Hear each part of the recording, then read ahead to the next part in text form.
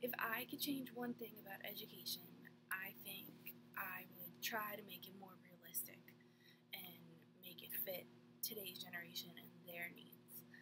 By making it more realistic, I think we should learn how to do more real life things by like learning how to pay bills, learning how to invest money.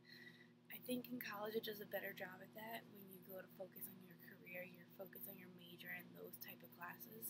But in high school, you're taking all general types of classes. Like, how are those going to help you? I also think our education system needs to be updated by becoming more modern.